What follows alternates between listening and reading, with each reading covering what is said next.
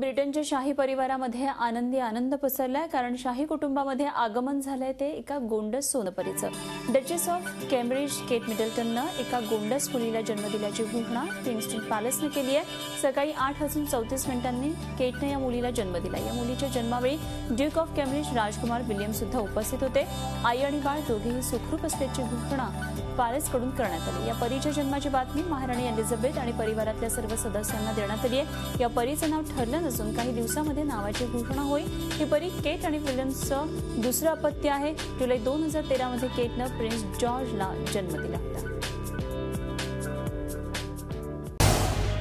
Zee चोवीस तास. रहा एक पाऊल पुढे.